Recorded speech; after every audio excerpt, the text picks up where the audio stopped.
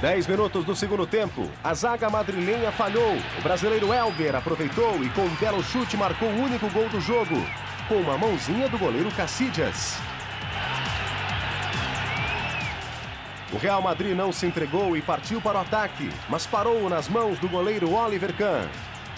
O alemão fez excelentes defesas, como neste chute de Raul. Final no estádio Santiago Bernabéu. Real Madrid